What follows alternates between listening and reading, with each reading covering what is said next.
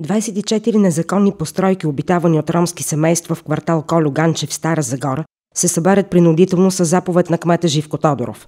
Други 24 незаконни обекта в квартала са премахнати доброволно през годината. Акцията по събарянето на постройките протича спокойно, без напрежение. В района има засилено полицейско присъствие. Няма никаква адресна регистрация. Не може да има. Това е общинско място. Собствеността е на общината. Два пъти надопреждаваха, те още от 2009 надопреждаваха, че ще не съборят. Обаче те казат, че ще ни дадат общински места. Обаче от общината нищо не са казали. Имаше една среща при кмета на общината и те пожелаха да им бъде предоставено на същото място имот. Съгласно закона трябва първо да бъде премахнат незаконния строеж. Ние в момента правим парцелиране на имоти тук и след това общината на търг ще продава бройките имоти, колкото излязат вече съгласно плана.